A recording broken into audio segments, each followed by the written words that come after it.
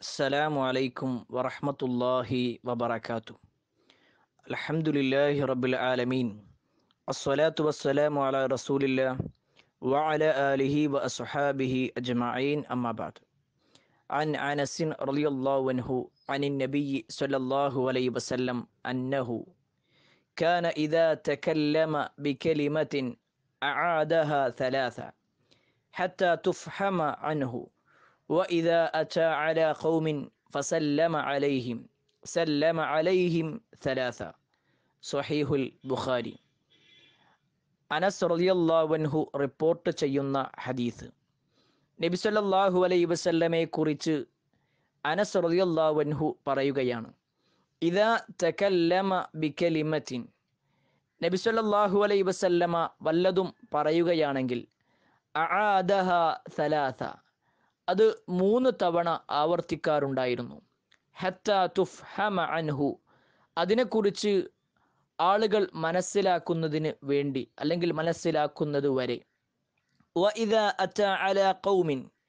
ഏതെങ്കിലും ഒരു ജനതയുടെ അടുക്കലേക്ക് പ്രവാചകൻ സല്ലല്ലാഹു അലൈഹി വസല്ലമ പോകുകയാണെങ്കിൽ ഫസല്ലമ അലൈഹിം. അവരോട് സലാം പറയുമ്പോൾ സല്ലമ അലൈഹിം സലാസ. അവരുടെ മേൽ മൂന്ന് തവണ സലാം ആവർത്തിക്കാറുണ്ടായിരുന്നു. നബി സല്ലല്ലാഹു അലൈഹി വസല്ലമയുടെ ജീവിതവുമായി ബന്ധപ്പെട്ടുകൊണ്ടുള്ള രണ്ട് കാര്യങ്ങളാണ് അനസ് റളിയല്ലാഹു അൻഹു ഈ ഹദീസിലൂടെ നമുക്ക് അറിയിച്ചു തരുന്നത്. ഒന്ന് പ്രവാചകൻ സല്ലല്ലാഹു അലൈഹി വസല്ലമ വല്ലതും സംസാരിക്കുമ്പോൾ ചില കാര്യങ്ങൾ പ്രവാചകൻ സല്ലല്ലാഹു അലൈഹി വസല്ലമ മൂന്ന് തവണയൊക്കെ ആവർത്തിക്കാറുണ്ടായിരുന്നു. ഒന്ന് ആ വിഷയത്തിന്റെ ഗൗരവം മനസ്സിലാക്കുക എന്നതോടൊപ്പവും മറ്റൊന്ന് ആളുകൾക്ക് അതിനെക്കുറിച്ച് മനസ്സിലാകുക ആളുകൾ അതിനെക്കുറിച്ച് അറിയുക എന്ന ലക്ഷ്യത്തിലു കൂടിയായിരുന്നു.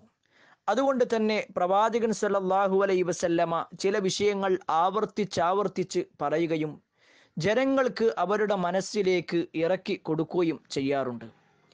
രണ്ടാമതായിക്കൊണ്ട് നബി അലൈ വസല്ലമയുടെ സ്വഭാവം അനസ് റളിയല്ലാഹുവിന് പറയുന്നത് പ്രവാചകൻ സല്ലല്ലാഹു അലൈഹി വസല്ലം ഏതെങ്കിലും ഒരു സമൂഹത്തിലേക്ക് ഒരു ജനതയിലേക്ക് പോകുകയാണെങ്കിൽ അവരോട് സലാം പറയും. ചിലപ്പോൾ അത് പ്രവാചകൻ സല്ലല്ലാഹു അലൈഹി വസല്ലമ മൂന്ന് തവണയൊക്കെ ആവർത്തിക്കുകയും ചെയ്യാറുണ്ട്. അഥവാ ഒരു തവണ സലാം പറഞ്ഞു അവർ കേൾക്കാതിരിക്കുകയോ അല്ലെങ്കിൽ അതിന് പ്രത്യഭിവാദ്യം ചെയ്യാതിരിക്കുകയോ ചെയ്യുമ്പോൾ രണ്ടാമത് വീണ്ടും സലാം പറയുകയും അപ്പോഴും അതിനൊരു മറുപടിയും ലഭിക്കുന്നില്ലെങ്കിൽ മൂന്നാമത്തെ തവണയും നബി സല്ലല്ലാഹു അലൈഹി വസല്ലമ ആവർത്തിക്കുകയും ചെയ്യാറുണ്ടായിരുന്നു. സ്വഹാബത്തിൽ തന്നെ ഇത്തരത്തിലുള്ള ചില ചർച്ചകളും നമുക്ക് കാണുവാൻ സാധിക്കും.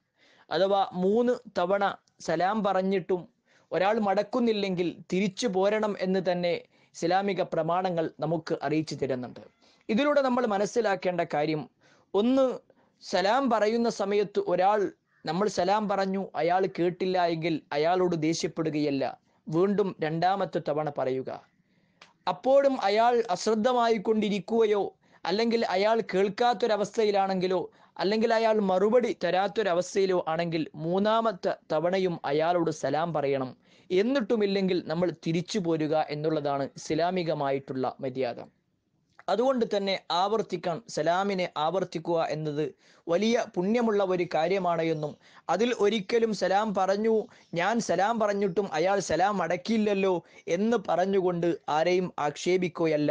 മറിച്ച് മൂന്ന് തവണ ആവർത്തിച്ച റസൂലല്ലാഹി സല്ലല്ലാഹു അലൈഹി വസല്ലമയുടെ അനുചരന്മാരാണ് നമ്മളെല്ലാം. അതുകൊണ്ട് തന്നെ നമ്മളും അത് ആവർത്തിച്ചു എന്നതുകൊണ്ട് നമ്മുടെ ഇജ്ജത്ത് കുറയുന്നില്ല നമ്മുടെ ഐശ്വര്യങ്ങൾ ഇല്ലാതാകുന്നില്ല എന്നുകൂടി നമ്മൾ ആ വിഷയത്തിൽ മനസ്സിലാക്കുകയും നബിസല്ലാഹു അലൈ വസല്ലമയുടെ സുന്നത്തുകൾ അനുധാവനം ചെയ്യാൻ വേണ്ടി പരിശ്രമിക്കുകയും ചെയ്യുക വിട്ടുവീഴ്ചയുള്ളവരാകുക. അള്ളാഹു അനുഗ്രഹിക്കുമാറാവട്ടെ. വആഖിറു ദഅവാനാണ് അൽഹംദുലില്ലാഹി റബ്ബിൽ ആലമീൻ. അസ്സലാമു അലൈക്കും വറഹ്മത്തുള്ളാഹി വബറകാതുഹു അസ്സലാമു അലൈക്കും വറഹ്മത്തുള്ളാഹി വബറകാതുഹു അൽഹംദുലില്ലാഹി റബ്ബിൽ ആലമീൻ. അസ്സലാത്തു വസ്സലാമു അലാ റസൂലില്ലാഹ്.